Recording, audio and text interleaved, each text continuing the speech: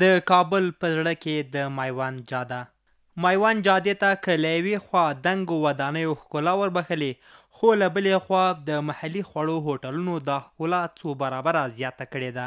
د دې جادې په هوټلونو کې ازبکي پلو، سیخ کباب، قابلي او د څپلي کباب په ګډون د افغانستان مشهور خواړه پخېږي. یو له دې هوټلونو د پهلوان کباب دی چې ډېر زیات شهرت لري او د کابل ښار له بېلابېلو سیمو سربېره له ولایتونو هم هېوادوال یې د خوراک لپاره راځي. دروېش چې د خوست ولایت اوسېدونکی دی وايي دا یې د خوښې ځای دی او تل دلته د څپلي کباب خوړلو لپاره راځي. کباب ته راغلي یو ډیر مشهور کباب ده کابل کی بل ځای کی داسی کباب نشته لکه ده پلوان کباب چی ده د بیروبار بیخی پی زیات ده کنه او مونږ په خپل هم ډیر خوښ ده ډیر لری نه ورته راځو بګرمی نه ورته راځو نوی حکومت سره هیڅ مشکل نشته ډیر تر خوشحال یو ډیر بیخی زیات.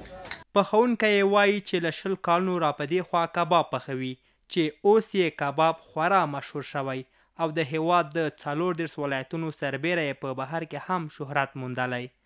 د هر ولایت نه چې راشئ نو دلته چې کباب یې خوړلی وي ځان رسوي چې د پهلوان کباب ته ځان ورسوم او دا خوشمزه او په هغه خبره چې هند، دوبۍ او سعودي عربستان ته یې خلک وړي دا خو لا خو لا خپل ولایتونه دي. نوموړی وايي چې څو ځله په دوبۍ او عربستان کې مېشت افغانانو ترې غوښتنه کړې تر څو په خپل لاس پخ شوی کباب ور واستوم. پرون نابله ورځ درې څلور کسان راغلي وو او دا خبره یې ماته وکړه چې ملګری مې هلته دي دوبۍ کې دي او تا کباب یې خوښ کړی دی او موږ ته کباب جوړ کړه چې دوبۍ ته یې یوسو.